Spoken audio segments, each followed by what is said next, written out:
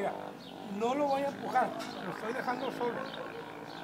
En medio de la calle Colimán de la colonia Emperadores existe una excavación de dos metros de profundidad que se llenó de agua debido a una fuga y ahora los residentes de la zona corren el riesgo de caer dentro de ella. Hemos hablado hoy con los bomberos, traté de hablar a protección civil, protección civil no contesta. Esto, imagínate que se cae un chamaco ahí. Ahí se ahoga. Residentes de la zona han reportado la fuga de agua. Sin embargo, no se le ha dado seguimiento y el bache tiene poco más de dos meses en la colonia. Sí. ¿Abierto así ya cuánto tiempo lleva? Mm, Ya, ya ¿Dos casi meses? dos meses. Dos meses. ¿ok?